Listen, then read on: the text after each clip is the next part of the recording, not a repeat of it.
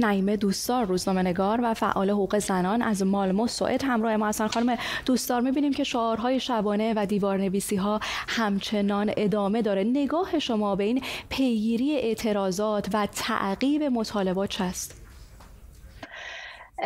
توجه بفرمایید که وقتی به این روند چهار ماه نگاه می‌کنیم می‌بینیم که یک در واقع جنبش اعتراضی به دنبال خشمی که ناشی از کشته شدن محسا ژینا امینی بود در جامعه به وجود اومد. حاصل چهار ماه مبارزه مردم و اعتراض مردم بیش از 500 کشته و صدها زخمی و هزاران بازداشتی است خب انتظار چیست؟ انتظار اینه که مردم با چنین در واقع برخوردی که با خشم انقلابیشون شده چه کار کنن؟ به خانه برن خون این کشته شدگان رو نادیده بگیرن از سرنوشت بازداشتی ها در واقع کنار بکشن بی تفاوت باشن.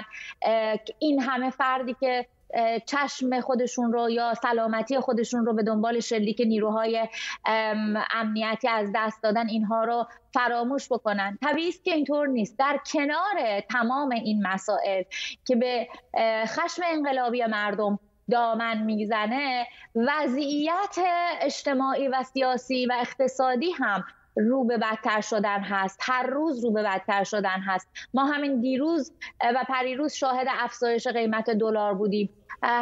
باره داریم در واقع اخبار مربوط به نقض حقوق بشر نقض آزادی های مدنی شهروندان رو میشنویم.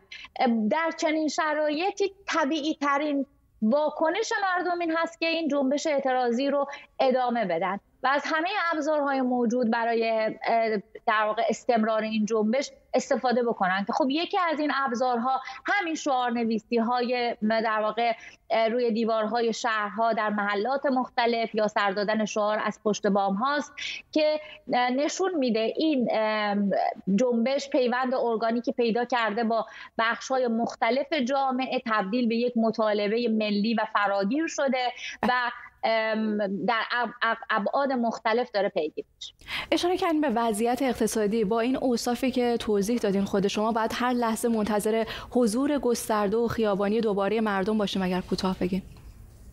همینطوره. برای اینکه ما شاهد این بودیم که جمهوری اسلامی همواره با خطاهایی که انجام میده بدون اینکه بشه پیش بینی کرد اقداماتی رو انجام میده که مردم رو می‌تونه به خیابان بکشه. همونطوری که چهار ماه پیش نمی‌تونستیم پیش بینی بکنیم که کشته شدن محسا امینی منجر بشه به یک چنین در واقع خیزشی. همین الان هم میشه انتظار داشت که هر عمل خشمگین کننده جمهوری اسلامی مثل مثلا ناب تشدید نابسامانی های داخلی به ویژه از نظر اقتصادی زمین ساز این بشه که افراد دوباره هماهنگ بشن متمرکز بشن و به خیابان.